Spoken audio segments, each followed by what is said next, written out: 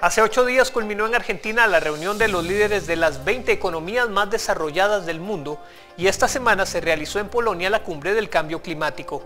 Algunas naciones afines buscan apoyo con encuentros de alto nivel como Venezuela con Turquía y Rusia, mientras que los países miembros de la OTAN no están cómodos con Rusia y Francia y Gran Bretaña denuncian a Irán ante la ONU por el lanzamiento de un misil. Estos hechos destacados son parte de los que repasaremos en el Noticia Mundo, el resumen de las noticias globales más destacadas de la semana.